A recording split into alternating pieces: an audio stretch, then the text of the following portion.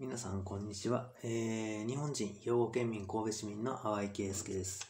本日、2023年、えー9月の24日、えー、21時46分。えー、まあ、今日、まあ、他のアップロードしてる、えー YouTube の動画見ていただいたらわかると思うんですけども、その解体しなければならない建物を撮影していて、まあ、撮影するなということで、うん、ただしね、本当のことを言うと、阪神・淡路大震災の頃はそれで良かったんですよ。で、行政の方も人手が足らない、助けてくれの方だったんですよ、本当に。で、神戸市兵庫生まれで阪神・淡路大震災、えー1995年、当時17歳、その年で18歳の年ですね。で、えー1月17日の朝の5時47分。で、うん、その、神戸地方裁判所のね、その裏にある司法書士会館のその家屋調査の人たちのその部屋のスペース見てもらったら分かりますあの、デスクに座ってる方一人だけ。二人の時も見たことあるんですけども、無理でしょ、どう考えても。その、今日の、うん、その行政の人に言われたかどうかの話なんですけども、それは世の中の実態だから、別にもう動画削除しておきますけども、これ本当にもう僕知らないですよ、本当に。あのー同じようなことをね、昔言ってた有馬警察署の老人の警察官、えー、昔、えー紅葉病院、えーどうこうとか言ってた人かもしれないですね。で、えー神戸市兵庫区の、えー集合住宅、もう解体されてるんですけども、東山商店街の横にあったんですよ。で、そこ解体したらやっぱり死体出てきました。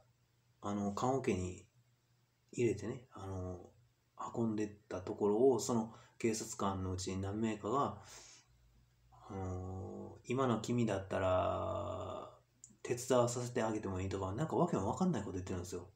ずっと僕はその一人暮らしの人のお亡くなりになった時のケース、誰がじゃあ対応するんですかっていうことになるんですよ。家の中まで入っていかなかったらわからないでしょ。本当に。実際出てきてるか、死体が。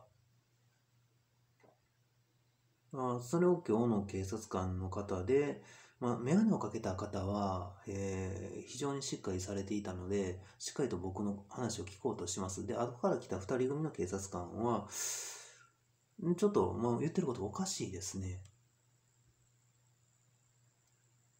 まあ、一人の方は説明していましたけども、公園にね、集まってた人に。で、まあ、その、一応ね、もう動画ある程度削除していますで、いっぱい今までいろんな動画、あの、建てすぎた建物、ビルとかね、えー調査した、えーそこまで本当に撮影したらダメなんだったら、風景の写真とかみんな撮れないでしょう。まあ、警察官の言ってることも相当おかしいんですよ。けど、そのメガネのかかけてる警察官の方は、僕のことを一言も非難しなかったんですよ。しっかりされてる方。その人は信用できるなって思ったんですよ。その現実からあんまりにも乖離した答え、あの、対応が雑になって。正直、有馬警察署も、そのメンバーがコロコロコロコロ変わってるから、多分無理だと思います。本当に。本当にこの人いなくなったらどうなるんだろうっていうことを大真面目に考えてないから。で、淡井ケースが安倍さんを、えー長期政権、日本で一番長い政権に据えて外交を、えー行ってきたっていうその話も多分忘れてるんだと思います。どれほど重要なことに対応してきたかっていうところ、それをずっとアルマセコスニとかに集まってきた連中は邪魔してたりもしたし、スポーツの勝ち負けも同じ。もう結果今まで YouTube にアップロードしてるんだから。言葉で喋って。記録はもう出てるんだから。ね、ソフトバンクの、その、訴えた時に移転先わからない。政府の方で調べますって言ってましたけども、それっきりですよ。どうします？この世の中、本当に。別に中国と喧嘩するつもりないんですけども、その AI 関係でね、データをへえー平気でコンピューターがコロコロコロコロ変えてくるから、これが世の中の事実で、もうそれ、ある程度のところは証拠で抑えてるんですけども、その喋ってる内容を聞いてもらわなかったら無理ですよ。ちゃんと喋ってる内容を聞くっていう。だって、有馬警察署の人たち、メモしてるところ見たことない。兵庫区の警察署の人と全然違う。すぐにメモするから。基本的に兵庫区の警察とかの人たちはすぐに言ってることをメモします言われてることそれができなかったらあの正直ね5本以上話して覚えてられます？お互いの喋った内容。自分が何言ったかと相手が何言ったか。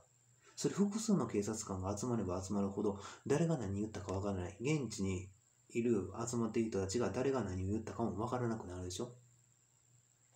まあ一人ある男性の人はその一件一件ベルを押したんかどうかとかそういうことを聞いてきたんです。よその人は眼鏡をかけてちょっと太ってる男性の人。で僕は普通に説明しようとして他の人間は喋り出すんですよ。でちゃんと説明するかちょっと黙ってって言っても喋り始める。でちゃんと説明しました。無理ですよって。この距離一件一件あのー、インターホンを押してその人が家いなかったらまた来なきゃなんないでしょって。ね。そんな明け方とかね朝早くとか夜とか迷惑でしょ？普通に考えて。で僕はそういうふうな努力をしていたのは全人類のためであったエネルギーの残存量問題に対してね。どれぐらい僕が考えてきて物事を達成してきたかっていうこと分かってないでしょ。自然再生可能エネルギーの件、僕と安倍さんで進めて、世界へ言葉を投げかけて、それで主要国、自然再生可能エネルギー10%以上伸ばしてるんですよ。大体10%ほどですね。2022年ね。それ分かってます？分かってないでしょ ?90 億人の命がかかってるっていうこと。で、僕の足がどうなってるかって言ったらこうなってます。こう。もう赤くなって膨れてる。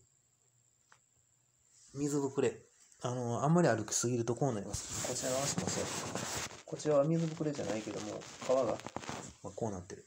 で、こういう努力を最近されてますかっていうことなんですよ。で、それを、あのー、正直ね、その通報をした老人の男性って結構年配の方でしょ。で走ってばっかりで知識人じゃないからあのエネルギーの残存量問題なんか公務員の人ほとんど分かってないです僕がその世界国税税とかの読み方を教えてあげなかったら無理ですでしょ36番。で僕が喋ってる内容もプラスしなかったら。もう掘る先々掘る分を含めて採掘可能ののあの年数を自然再生可能に増やして何とかしてる方。もう今のペースだったら100年持たない本当に。で警察官がもう知ってますからこの間あの西宮インターチェンジかどっかのあの工事のところの10トントラックのダンプカー運転してたあのー、頭えー、ハゲてる、えー、老人その人2021年東京オリンピック終わった後、有馬警察署の刑事課の人間か、どっか別の刑事課のじいさんでしょ。昔からその人ダンプ乗ってるから。もともと何かしてしまったこの人。バレそうになって、宝塚三田病院ではなくて、西宮北の人命会病院、2021年ね。で、そこに入院させられて、医者になってた男が、えーえー、2001年から2002年にかけて、州和株式会社で働いていた崎田と名乗っていたもので、手帳は永田だったんですけども、永田町が決めたことだからとか、そういう風な話で偽名使いました、警察官が。あのー、テレビに出てる時の名前が野村修也という人で、弁護士バッジをつけてた人で、あの、政治と深く関わっていた弁護士ですっていうことでしたけども、神戸市兵庫区の新田町の交番にいませんでした。で、マスクしてた。で、弁護士バッジまだつけてますあの、テレビ出てる人で弁護士バッジがついてる人とついてない人がいるんですよ。一時期ついてた人でも。だから状況わかるんですよ、大体。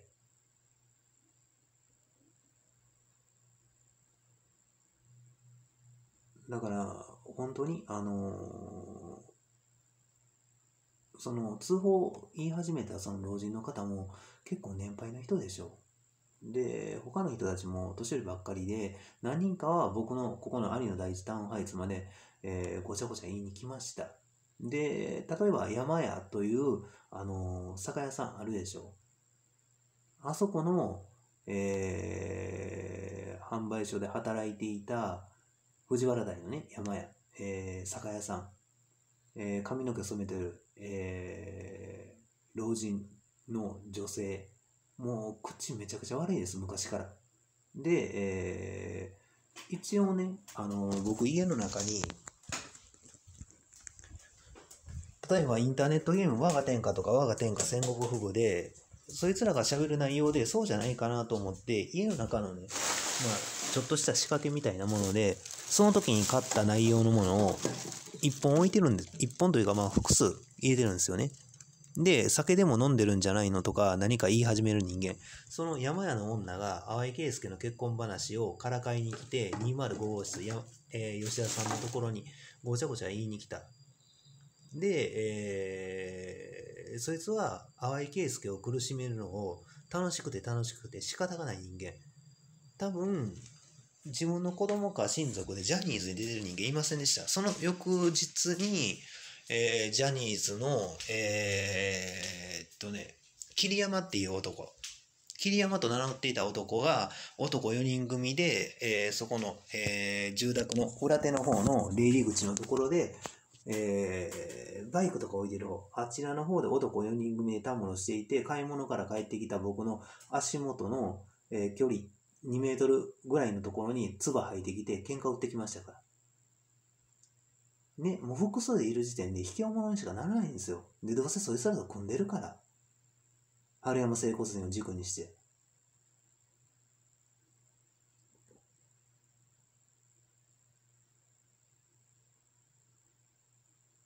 いつも複数でしょ。で、その、これね、その警察官の方を責めるわけじゃないんですけども、正々堂々と一人で来られた方って、ちゃんと今日のね、あの、アイデアが通報して僕へ質問されてきた警察官の方は、しっかりと、えー丁寧な、えー敬語を使っていて、で、えーまあ僕は事情を説明したときに警察官が悪いですねっていうことをすんなり言えたんですよ。だからそれができなかったら、警察官の中に、あの別の動画でも言ってるんですけども、これ、両顎殴られた事件があったんですけど、両両顎本当に割られてます。えーその時も男4人組で、まだ全然違う人間なんですけども、その時の事件番号が100894です。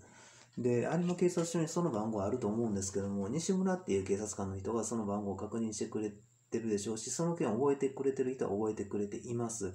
で、それが殴られた後、神戸大学附属医療に搬送されて強制わいせつされてるんですよ。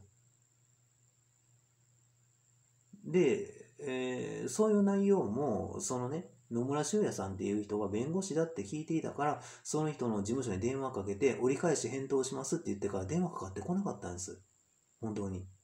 で、えー僕は一応その人のことを信じて、政府のことを信じて SD カードに、その春山整骨院が絡んできてる連中の、えー映像で何分頃にこう言ってるっていう内容まで文章を添えてですよ。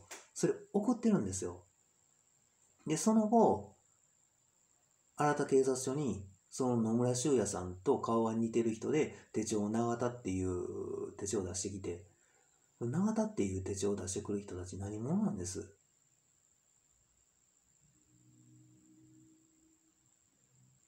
目元は似てたんですよ。で、その人は僕より身長が高かったと思います。野村修也っていう人は身長何センチか分かりませんけども、そこまで行って委員会の、あの、男性司会の野村明大と名乗っている人は親族らしいですよ。テレビをに向かって言う方法でね、僕との受け答えで。もう状況見えてきたでしょ。で、僕の提案で、あの、新海誠監督、多分スタジオジブリの参加だと思うんですよ。で、えー日テレが、そのスタジオジブリを昔から参加にしてるから、金曜ロードショーでスタジオジブリの映画を放送してるんですよ。よそのテレビ局ではスタジオジブリの作品を放送しないんですよ。で、ちょっとね、あの、話、だいぶあれなんですけども、えっ、ー、とね、ホームページは Y 圭介の履歴の、えっ、ー、とね、20番台、20番台にテレビ局の売り上げっていうところがあるんですよ。だからそこ見てもらったらわかる通り、あの、日テレだけ売り上げ高いでしょ。で、新海誠監督は私の方からこの人が良いということで推薦しました。もともと宮崎駿さんは僕の、僕と、あの、会話を、そのテレビに向かって言う方法で確実に会話を交わしているのと、もしかしたら神戸市立ホテルフルーツラーパークに僕が勤務中に来てるかもしれない。もしかしたら他のところで、で、僕と言葉を交わしてるかもしれない。テレビ局経由で、まあ、ああした、ああしてほしい、こうしてほしいは、多分1997年、8年ぐらいの頃に言ってい、ってそのもののけ姫がある程度出来上がってるはずなんですよ。もともと人間が鉄砲で熊とか退治できるようになった方です。鉄砲で。もともと素手じゃ無理です。熊なんか相手。100キロ軽く超えてきますから。あの、簡単に木に登りますよ。一瞬で。平地を走るようなスピードに登りますから。だからもう腕の力、腕短そうに見えても、めちゃくちゃ腕の力強いですから。で、まあ、あの話はまだ、まあ、だいぶややこしい話になってるんですけども、もともと戦国時代の話がだいぶ嘘が入ってるから、まあ、ちょっと話がだいぶそれましたけど、家の中のペットボトルね、結局、コメント欄のところで、酒でも飲んでるんじゃないのとか言ってきてる連中とか、あのまあ、プレイヤー名とか変えても、あの言ってきた記録とか残るから、他の人のあの会話とかも一緒に映るから。だそういうのを結構データに収めていたりとか、その警察官が取り締まるだけ取り締まって、被害者に対するそのお金を支払ってもらう内容が法律であるじゃないですか。でまあ、国家賠償法でも同じなんですけども、多すぎるんですよ、本当に。僕からの搾取が。まあ、スポーツ界もそうだけども、その、結局新海誠監督も泥沼状態になってしまうでしょ？君の名はという映画自体僕の提案で作ってもらったものですが、ああしてほしい、こうしてほしい、こういうストーリーでって、最終的に隕石の落下に関しては、緊急避難を呼びかけ、もうこれ以上ロケットなんかミサイルとか作ってる余裕ないからと、エネルギーの残存量問題で。最初の方に言いましたよ、説明。36番見てくださいよ、本当に。全警察官が。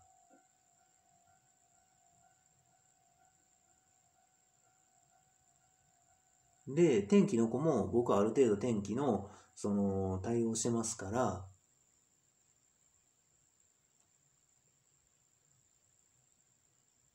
ね、テレビ局、多くのテレビ局が特に関西系、同じ放送ばっかりしてるんですよ。今日もあの、そこまで行って委員会の、えー、隣で行ってる、えー、日本の挑戦、あの、ペレストロカイブ式の太陽光パネルの膜を、えー、太陽光パネル、シーコン型の上に貼り付けて発電効率を上げるとか言ってるんですけども、それもね、もともと貼り付けてると思うんですよ。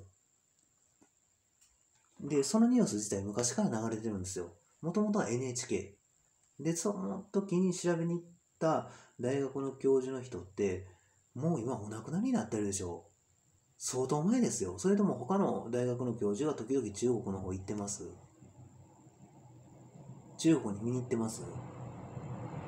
けども生産ラインで喋ってる人は日本語話話してるんですよ。どう思います？法律知ってたら正々堂々と生産工程とか言ったらいいんですよ。特許庁を通して特許出願しているのであればちゃんと世界中のあの国連の特許がね、えー、どこが一番最初に出願してきたか調べてくれますから。そういうシステムなんですよ。どう作ってるかは堂々と言ったらいいんです。その方が早く広まるから。で、その技術を使ってたところは、それだけのお金支払ってくださいよ。それは販売価格の2.5%が相場なんですよ。値段上げすぎたらみんな買えないじゃないですか。ある程度のコストダウンを図っていって、どちらにしてもある程度の競争はどうしても発生してしまう。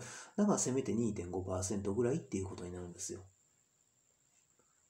これ、アマゾンでもしもしかしたら中古かもしれないですけども、バッテリー付きで、えー、2000いくらで購入しました。軽いでしょだから、あの、まあ、ごめんなさい。テレビ局の売り上げからだいぶ離れてしまったんですけども、それ見てもらったらわかると思うんですけども、その、日本テレビ放送網株式会社だけ2023年の、その、純利益が出ているのであって、他、あの、特に関西のテレビ局は2021年とかで純利益止まってるでしょ。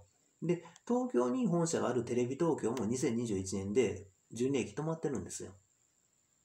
だからそれはお金をどう動かしたかまで見てみないとわからないですよ。その太陽光パネルに投資したんだったら、それはまた話違ってくるでしょうし、ただコロナウイルスが実際あったでしょう。多分あのコロナウイルスでお金が回らなくなったんだと思うんですよ。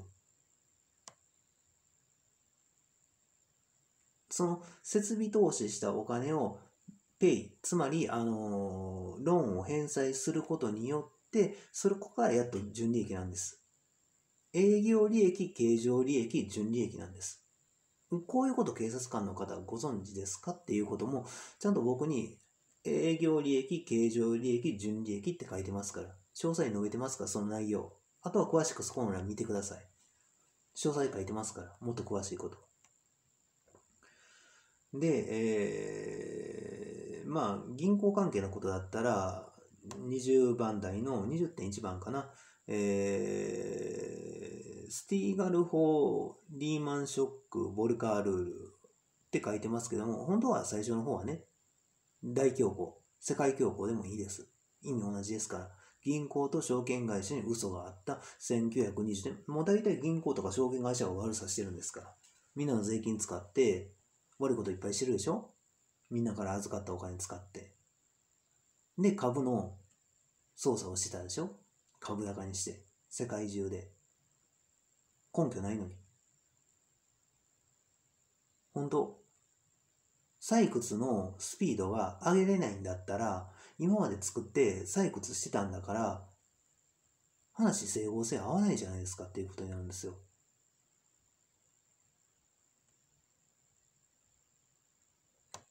だから、正直そこまでね、一民間人の淡いケースが調べれるところって言ったら、太陽光パネルは屋根の上に乗ってるかどうかなんですよ。一応ゴルフ場とか早く埋めてほしいっていうことは安倍政権の頃から言ってました。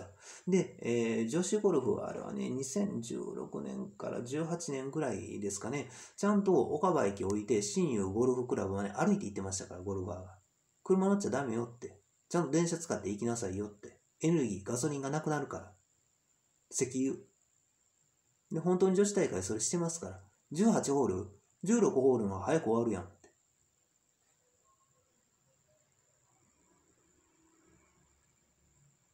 なんか今変な電波聞かされました。マイクで喋ってる警察官の方が強いわとかいう、なんか笑いながら言ってる声。楽しそうな声になってるから、その時点で間違えてるっていうこと気づく普通。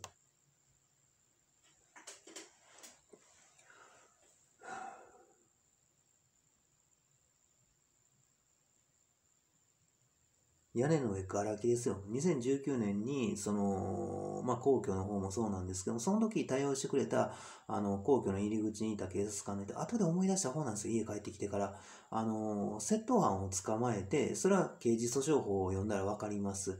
えー民間人には逮捕権があって、警察官へ、警察官への引き渡しです、法律。それは刑事訴訟法を見たらわかりますよ。ややこしい文章の書き方しますけどね。もともと、議員とか、警察官とか、特に辞めた後ね、捕まるのを怖がるんですよ、みんな。政府の本当のことを知ってしまって。で、守りに入るでしょう。守りに入らない方がいいんですよ。だからその、あのーしっかりとした敬語で、警察官が悪いですねっていうことを僕がある程度説明したときに言ってくれた人はしっかりしてるんですよ。あ、この人なら信用できるなって思えるんですよ。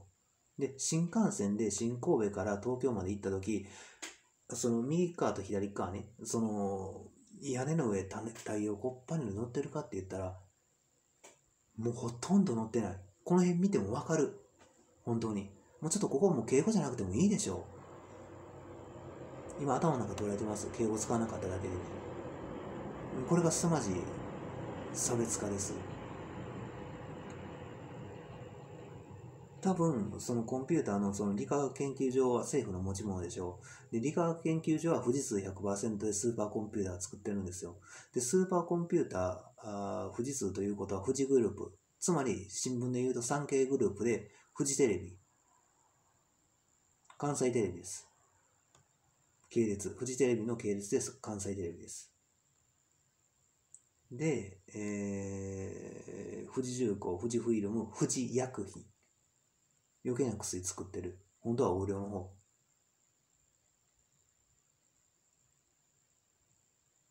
だから、えっ、とね、名前名称会社の名前間違えてるかもしれませんけども、日産電子モーターだったかな？違う、日産じゃない。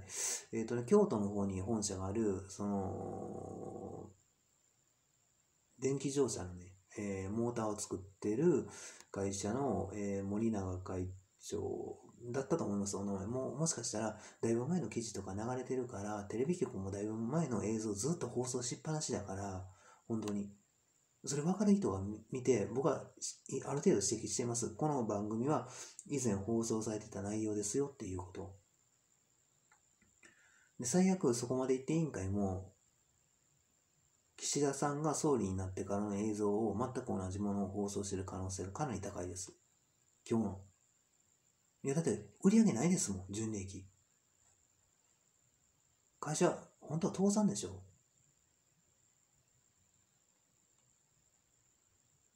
からその、安倍政権の時に、本当に民間の会社で働いた人間が公務員試験をまず面接で受かるかどうかで、その課長以上の、あの、上級と言われている、あの、試験なんですけども、その、筆記試験の方。だからそれは、えー、まあ、それは、筆記試験を受からなきゃならないっていう話になってるんですけども、それを受かったっていうことは、本当のこと分かってるでしょっていうことになるんですよ。だから裁判所で、ね、知らないことはしょうがないみたいな内容の民法の部分あるあるじゃないですか。だけども義務教育でいろんなことを教えてるのは髪の毛染めちゃダメよとか人殺しちゃダメよとか物盗んじゃダメよとか当たり前のことを教えてるのは裁判所でととぼけられないようにするためなんですよ。で、僕のあのホームページ、愛圭介の履歴の目次とか電話番号とかの欄、すぐ一番上にありますよね。で、そこに、えー小学校の頃の、えーえー下敷きの写真とか集合写真、え中学生の内容のものを見たらわかると思うんですけども、ちゃんと港川中学校ですよ。男性全員、1年生から3年生まで、全員野球部じゃないですよ。全員丸刈りだったんですよ。これしておけば、髪の毛染めるやつなんか出てこないだろうっていう。裁判所なんか歩いてすぐ近く、15分ぐらいです。港川中学校から神戸地方裁判所。まあ本当はあの教育は正しかったんだろうなって思いました。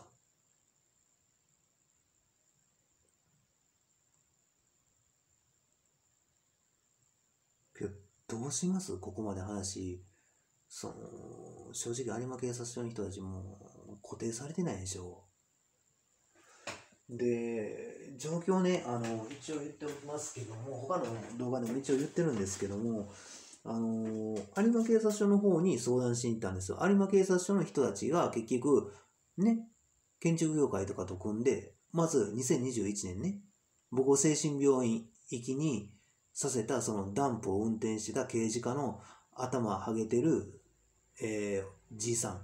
昔からダンプ乗ってるから。10トントラック。その人すぐいなくなるでしょ。で、警察官の制服を着てない人って本当は警察官じゃないんですよ。現行法規や現代日本法規見たら分かる通り、警察官はこの服服を着なさいって、そういうルールがあるんですよ。開き直りすぎてるんです、その人。で、バレたら危ないか建設業界と組んでるあっちこっちで、ね、国の税金使って身勝手に物作ってるでしょ、建物とか。それに参加してるでしょ。昔言ってたのが、僕はフルーツやパーク勤務地の頃に、横通り過ぎるときに、自分から言ってた内容が、こっちは運転してるだけとか、なんかそういうことを笑いながら言ってるんですよ。だいぶ間がえってる顔でしたよ。そこまでやるかっていう意味ですね。罪を犯してる方ですよ。バレそうになったら隠蔽。だから公共を、その、その書類送検ができる検察庁へ、それかけるの法律で言うと警部補以上の人でしょ、本当は。確か僕見たはずですから、その内容。現行法規、現代日本法規。ちゃんと六法全書も平成20年度と31年度版の持ってるから、平成31年度版の六法全書から海洋基本法が消えてるの知ってるんですよ。だけども、現行法規、現代日本法規にあります。で、それだけでは足らない。絶対に。都政六法は必要。だから、その建設業界とスポーツ団体、スポーツ振興法とかを利用して、国の税金を大量に横領事件を行っていたっていうのは警察官の中に混ざっていた、スポーツ選手の中にも警察官の人間がいた、もうこの時点でもう無理なんですよ。横領しまくってるから警察官が。だからそういうふうに警察官が悪いですねっていうことをあっさり言える人たちへ警察官固めなかったら、再発がずっとされるんですよ。ね、消費税3%から10%まで上がりましたよ。軽減税率付きで8%。で、野村修也さんも、その後僕を一切助けてくれてなかったですよ。弁護士マッチまだつけてます？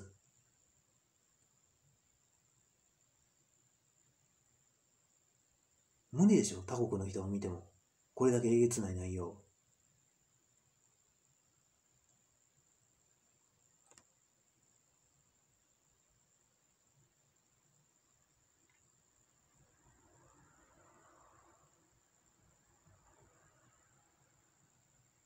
で、今日後から来た2人の警察官でもしかしたら1名の方は、僕はね、あの、朝廷ので最初裁判持ち込んだ時の裁判官を男性2人で叱ってくれた方で、えー、神戸市兵庫区、えー、東山町だったと思うんですけども、船井電機の横の建物を解体してくれた方たちですか？の1名の方ですか？確かその、うん、むか、うん、あの時に、えー、っと、その、その、まあ、今日のその警察官の、その、後から来た2名の人で、その1人の人は、もう変な表情になりながら、もう半笑いになりなりながら、調子どうこうとか聞いてきたんですよ。調子を聞いてくるんですよ。調子の話なんかね、そんなに相手泣かせたいのって。状況の話、今まで有馬警察署に何回通報したと思ってるんですか？って。状況をしっかり見もしないからでしょって分かってないのって。で、ホームページに公開してますよ。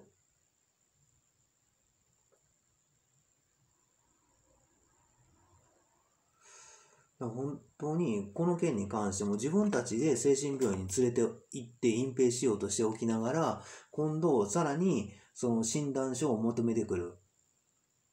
運転免許証の。その書類を持っていったらまた税金使われるでしょ医療業界と。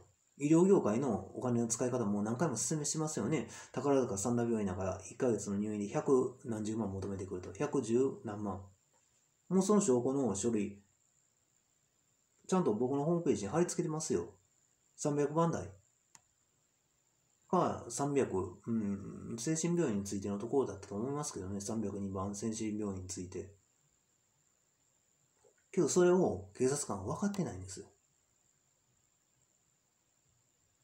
とってつもない新聞の一面永遠に残るような事件してしまってるんですよ。警察官が本当に。で、その後から来た一番年配だと思われる警察官が一番悪い人。最後の方に笑いながら言ってたのが、それだったら警察官が聞こえてくるわって言い始めて、で、僕はすぐにその時、あ、この人危険だなと思って、3人警察官、そのまともな人が1人いるから安心して言えたんですけども、その、ダメですよって、その、電波で聞こえてきてる人、頭の中にアクセスされて、しっかりとし聞こえてきてる人が裁判官になれる人なんですよって、法廷でもそうだから、裁判所裁判官は認めてるから。そうじゃないと正しい判断なんか下せないから。有馬警察署の金崎って言ってた警察官なんか、本名かどうかわからないですよ。警察手帳見たことないし、その永田の話があるから。その永田っていう警察手帳の話、永田町の。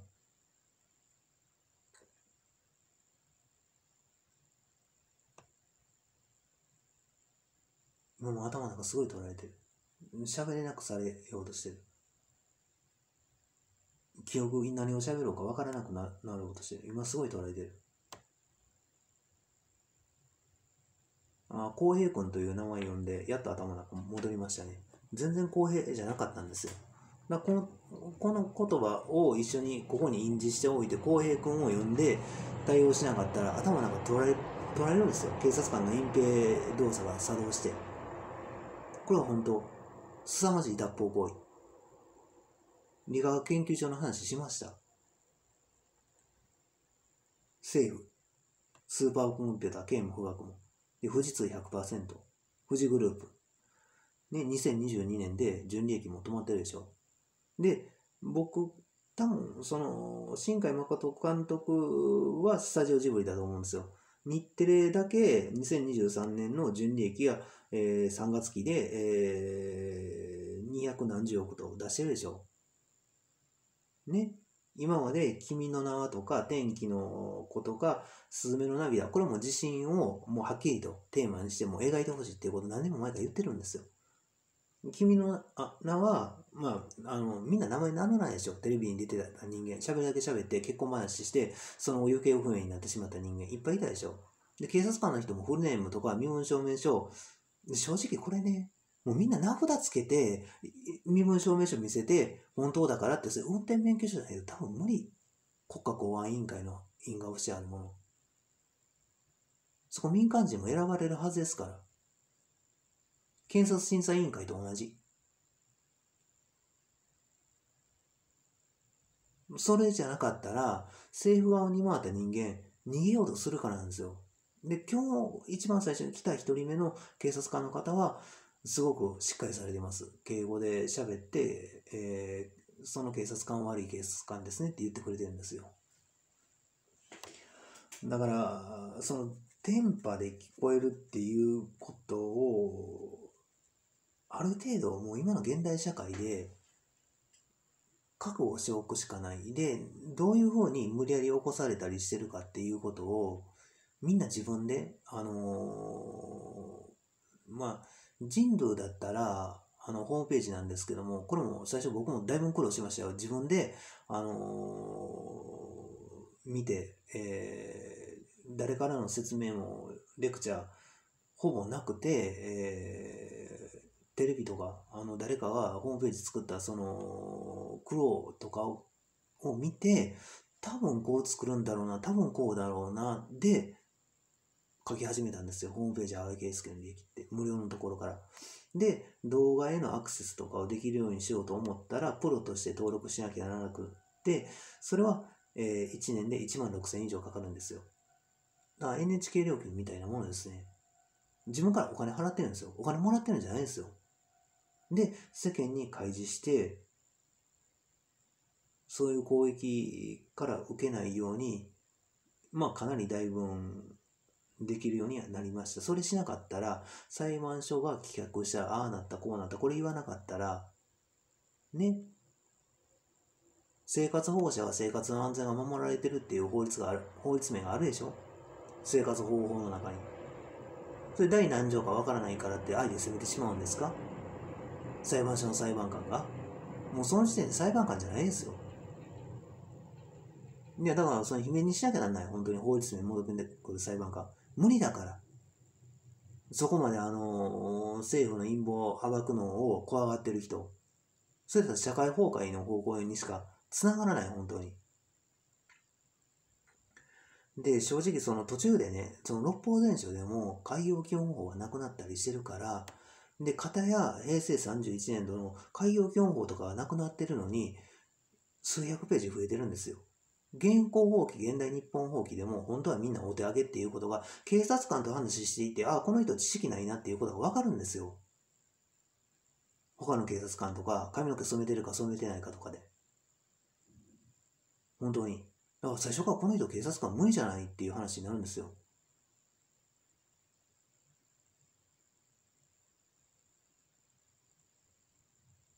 で、先立って名乗ってましたよ。その、周和株式会社で働いていた時ね。で、その人は早々に2000年の頃はすぐにいなくなったんですよ。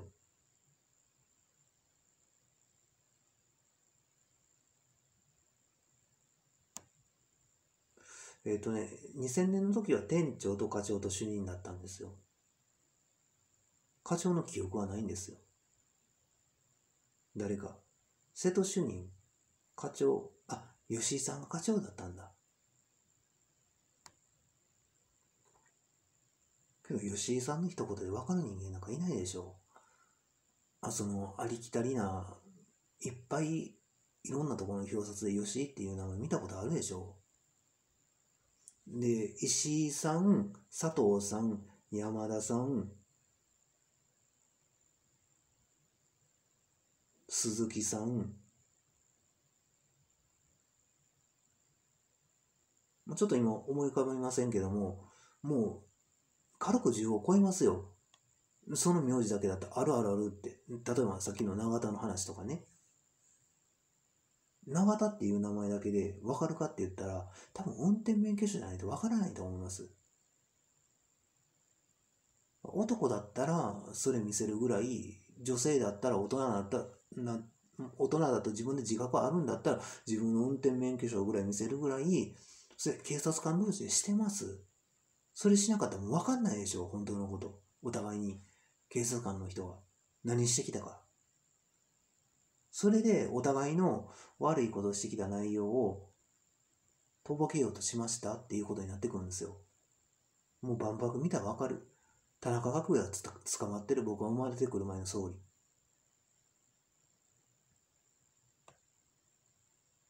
もともと総理とか、今まで大臣とかで50人以上起訴されてますから、しょっちゅうニュースになってますが、まあ最近、あの、内閣改造で、あの、就任された小渕さん、小渕優子さん、あの人ももともと神戸市立ホテルフルーツアパークで僕と一緒に働きに来てるんですよ。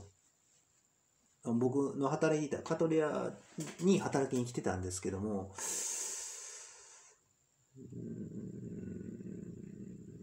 もともと大内総理っていう男性の方がいらっしゃったでしょう。その家系で責任問題でやっぱり、その、議員ルートになるんですよ。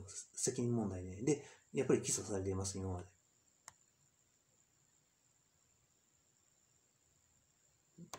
だからね、その、本音言いますよ。僕もどこから手をつけたらいいか分かんないんですよ。太陽光パネルのそのテレビの放送自体がもうすごい昔の映像を使ってはっきりしたことを詳細に述べてないから。でインターネットでもまあ僕の49番の太陽光パネルねあのシリコン型でも5種類あると。で、えー、化合物型かな？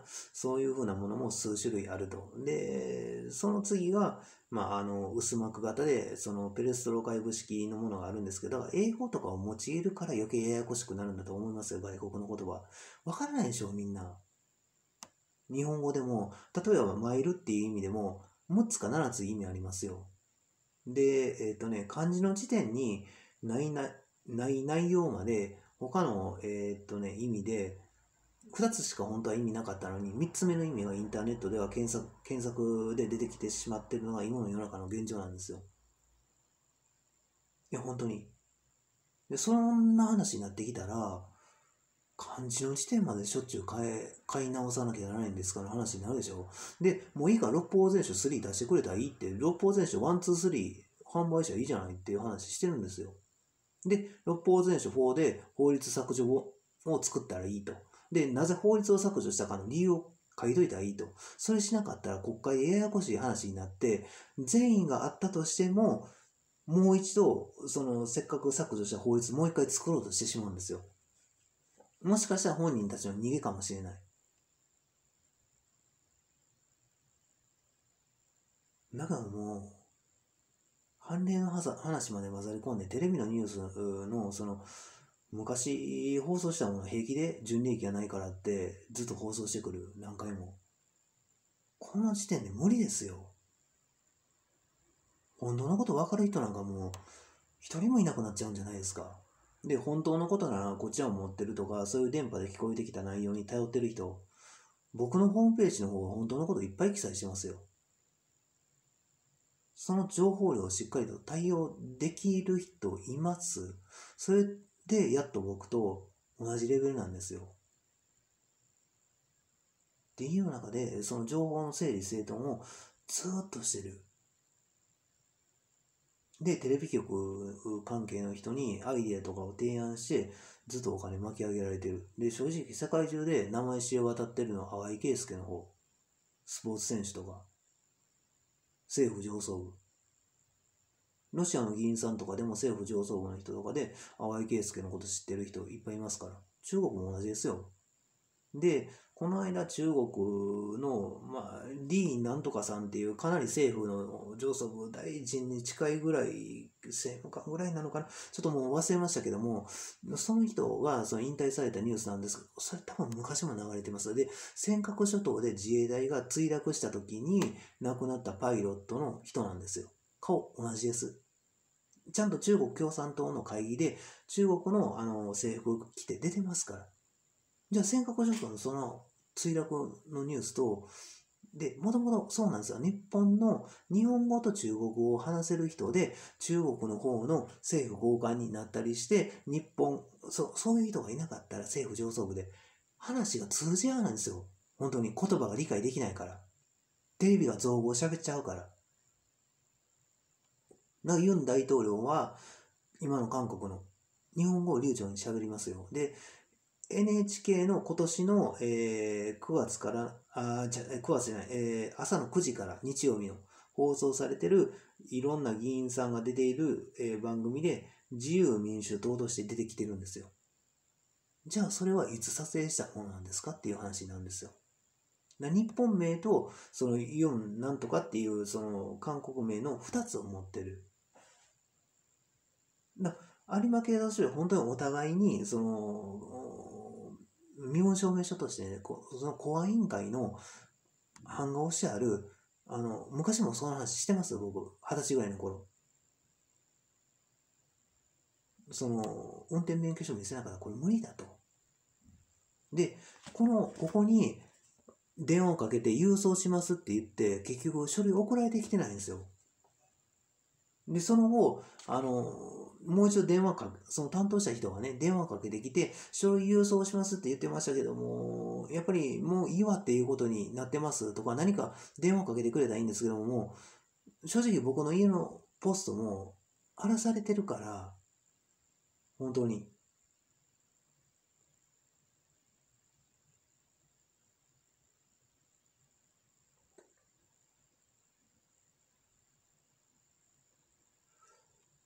まあ、一応、今日日曜日で月曜日以降にもう一度電話をかけてみますけども、正直誰が対応したのかわかんないです。名前、フルネームで名乗ってもらわないと。嘘なしで。ねえ警察官同士で行方不明になるでしょ？誰がどの仕事をしたのかの行方不明。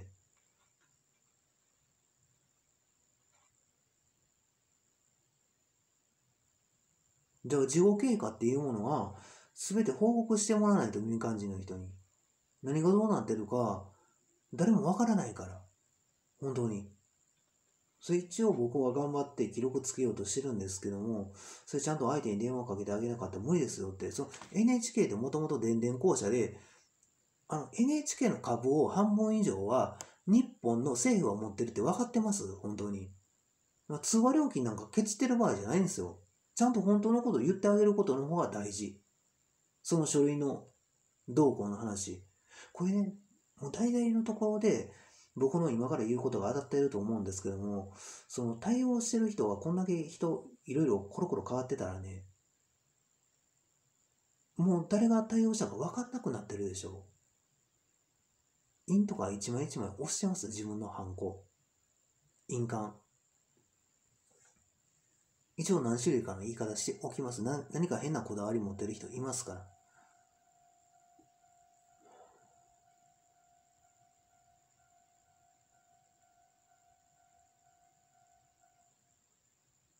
いや、だからね、本当のこと言うと、政府に届けてる印鑑証明。で、印鑑証明を届けるのは本人。政府がそれを受け止めてるだけ。で、印の押し方って政府の人と銀行の人が言うこと違うんですよ。で、多分それは銀行の反応、押し方をしっかり知ってる人の言ってることの方が正しい。あの、印っていう文字の上に印を押されたら見えにくい。僕も同じ意見。印の横に印を押さなきゃなんない。その方が見えやすいでしょ。淡いっていうハンコも正直作ろうと思ったら誰でも作れるでしょ。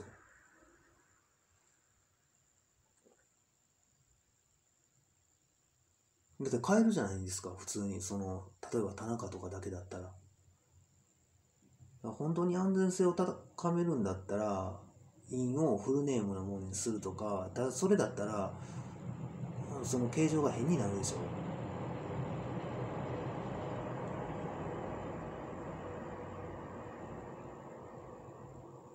う。いやまあ一応、まあその、その3名の警察官の人に言ったんですよ。そのプライベートの時間帯に僕の家に来てもらって、その会議みたいな形で相談してもらえませんかって言ったらみんな拒否するんですよ。もう長年そういう人見たことない。だから意思疎通が全員できな、できていない。それそこの集会場でしようとしたら無理ですよ。そのテレビ局の隠蔽側の人間で、髪の毛染めた僕より年配の人で、テレビに出ていた人が、そこの集会場で何って言ったかって言ったら、お前の意見なんかどうでもいいって僕は何か言おうとしたら言ってきたんですよ。もう絶対悪いことしてるから。髪の毛染めてるだけでわかるから。逆。君の方が、君の意見なんかどうでもいいっていう話になる。自分のことをちゃんと公開しないから。どこで働いてきて、どういうふうな勤務履歴があって、どういうふうな生き方をしてきたかっていうところ、どんな被害に遭ったかとか、自分の被害もいいです。言ってくれたら。で、それでもみんな本当のことがわかりますから。これみんなお互いに自分がどういうふうな目に遭ってきたか言わんかったらこれ無理やでっていうことに。ね、テレビ局も純利益関西なんか出てないでしょ、長い間。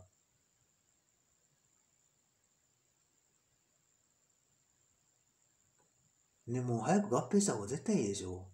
で、テレビ局の方も、もうパソコンの中とかがデータが多すぎて、もう何が何やらわけわかんなくなってると思うんですよ。本当に。1時間の番組が何百本も積み上がった時に、まあ、本っていう言い方でね、みたいな言い方で1本2本って言うんですけども、何百時間見て確認しなきゃならなくなるでしょう。もうその時点で無理でしょう。1日の勤務時間は基本的に7時間45分でしょう。一月で、もう大体でいい。大体の話で180時間の労働時間じゃないですか、基本的に。有給休暇混ぜ込むでしょう。無理じゃないですか、絶対。そんな時間対応できるかって言ったら、その何百本の話。だって一つのテレビ局で、だからもう明け方と夜中の番組いらないって僕言ってるんですよ、ずっと。それもテレビ局が合併して。先進諸国どこも少子化なんだから、アニメだって正直、大したことあるアニメとそうじゃないアニメがあるから、海外に売れそうなものと売れなそうなものぐらい見たらわかるから、変に海外にその進出しようとしたら逆に赤字になりますよ。それが海外進出の実態なんですから。いやそこ、まあ、まあ、信頼性とかクオリティとかいろんなこと込みで話持っていける人がいなかったら無理じゃないですか。だから民間人の淡井圭介と今までの総理のリレーしてきたその形式っていうのはどうしても必要になる。これが現実なんですよ。まあ、ちょっと今日自分の足撮影させてもらいましたけども、もう一回最後の方にあの撮影しておきますね。本当に、こういう風な、もうこれ、変色してる。血が混ざってる。水ぶくれ。こんだけ歩いてきた意味が、簡単にたった一言で、動画の削除とか言われるんですよ。電波で撮影しておきながら。テレビ局の人間なんかいいのが覗いてたんですよ。どちらが罪重いと思います？悪い悪くないで言うと。無理でしょいやけど本当に、うん、そう誰かがこれそんなルールだったら建物撮影しちゃダメだっていうルールだったら本当に孤独死されてる人たち多分その中に混ざってますって絶対。それ本当誰が行くんです？僕もそのねその時あの言おうかなと思ったんですよ。僕もそのお亡くなりになってるかなってないか扉開けるその勇気たまにぐらいそれ勇気あるとこ発揮しますよって。頑張ってその時の対応僕も家の中の片付けとかそれ多分相当きついでしょうから精神的にも。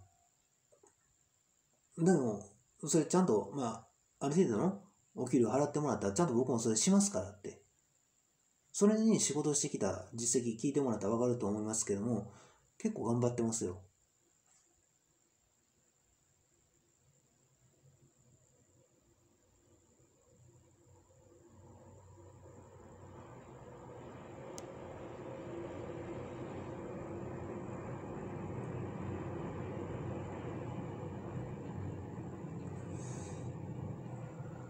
どうします？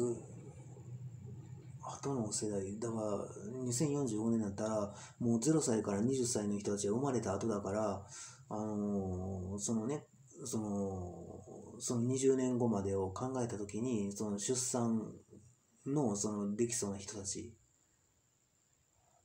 男性女性込みですよ。でもう政府の統計でもう2045年になったら、えー日本だと38%超えの人が65歳以上。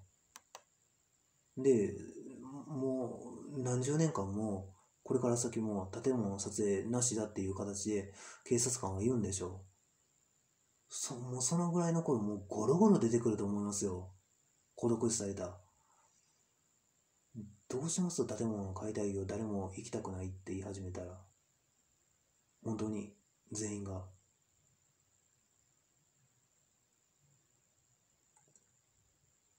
ね。政府の判断がいかに間違えているか分かるでしょ僕のアップロードしてる YouTube の内容を見てもらった方が分かる。本当に。この喋ってる内容と撮影しているところの地点。でやっぱり有馬優先病院あの病院も変ですね。本当は有野台からあのーまあ、東有野台を通って有馬温泉の方へ抜けていくトンネルあの先の近くのところに有馬優先病院もともとあったんですよ。だけどもいつの間にかなくなってきて有野中町に出来上がってる。有野台の人とかのそのその本当は東有野台の人だったら歩いて多分15分ぐらいで行けると思います。有野有馬優先病院。だからそのご家族の方がねあの交通費とか使わなくてそのお見舞いとか行けるから自分の親とか。でそれしなかったら後で後悔するから本当に。亡くなった後。あの時こうしておけばよかったとか。なのになんか有馬優先病院が一応昔からああいうふうに山の上の方にあったみたいですけども一応それも撮影しています。だここまでその一般的な公共的な建物の撮影まで禁止されると管理者不在になりますよ。だからさっき言ったじゃないですか。東山商店街で、ね、最初の方に。その集合住宅、えー、100軒以上入ってるところ。12階建て。そこ建物解体したら、やっぱり下に出てきたっていう話。だってみんなほったらかしにするんですもん。調べたらダメだって言って。で、一応それは政府の人間が調べるしかないから、そのせめて手助けみたいな形でね、解体した方が良い建物っていうことで、老朽化させた。だから、物干し座は昔からそう、物干し座が出てるか出てないかで分かるから、人が住んでるか住んでないか。で、あと、大体の様子、草とか木の生え方で、あもうこれ絶対放置されてるなっていうの分かりますから、雨戸とか閉まっていて、それがもともとのルール。雨戸があるところはね、政府が作ったルール。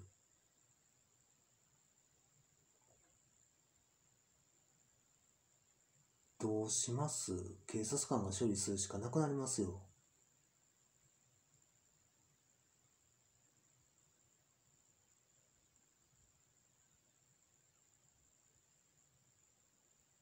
美容大学とか美容専門学校までできてしまった後ですよ。で、平気で、その、アルカとかもそうですけども、髪の毛染める薬品置いてるでしょ。あれ本当は違法者ですよ。海洋共合違反。もう言った。たかが1ページの内容のことを、もういちいち男女とか言い始める人間、絶対隠し事してる。本当1ページぐらいですよ。海洋共合。10条ぐらいしかないですよ。もうぐらいでいいと思います。だって会社法とか民法洗浄ぐらいで話合うでしょ整合性は。自分で開いてみたらいいじゃないですか。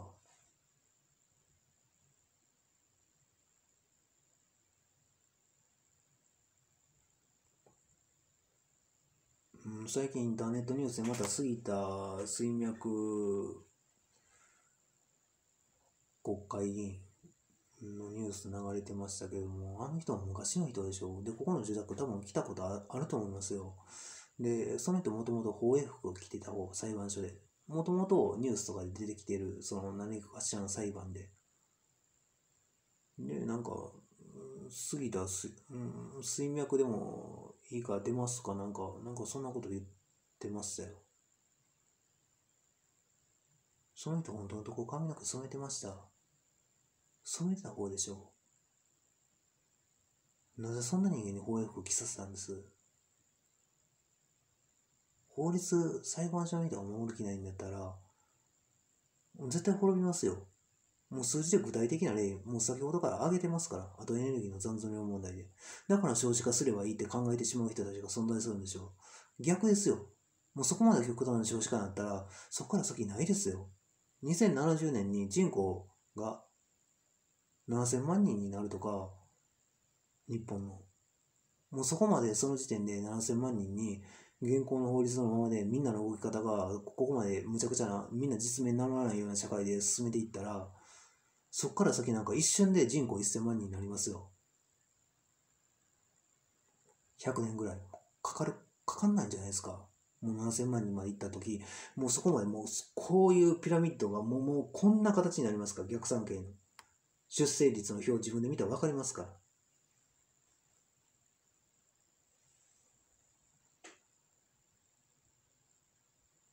もう多分警察官自体を一から全部そのしっかりした人間だけに固定しなかったら無理だと思いますよ。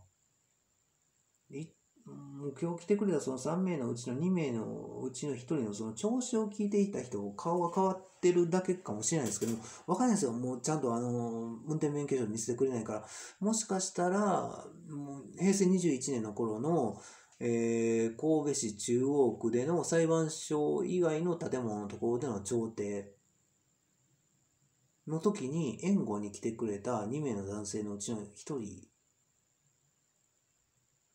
だったかもしれないです。わからないですよ、本当に。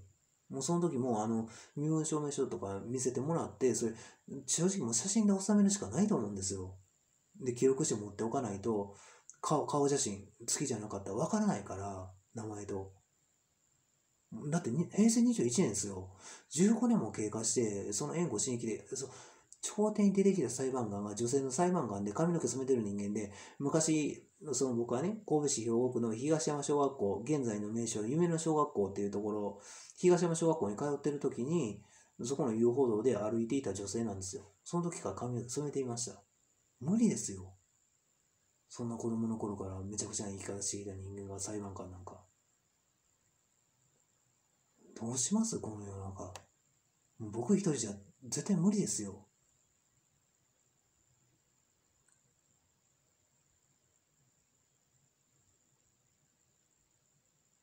だから髪の毛染めてる人間が髪の毛染めて綺麗になってると思ってるんでしょ？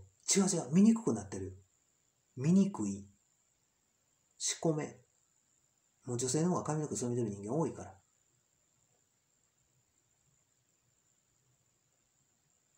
けどこれぐらいはっきり言った方がいいでしょ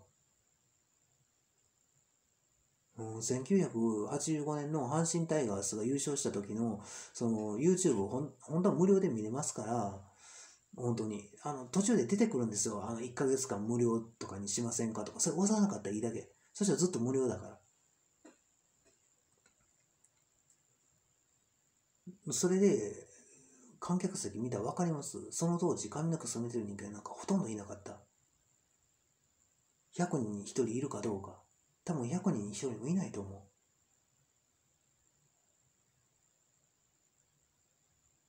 いや、みんな美容院なんか行ったらお金巻き上げられるって知ってるから。散髪屋さんが正解だっていうこと知ってますから。で、女性が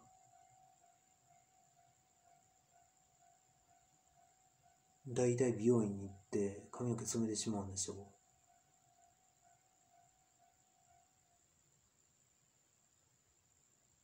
いや、比率は女性の方が圧倒的に多いんですよ。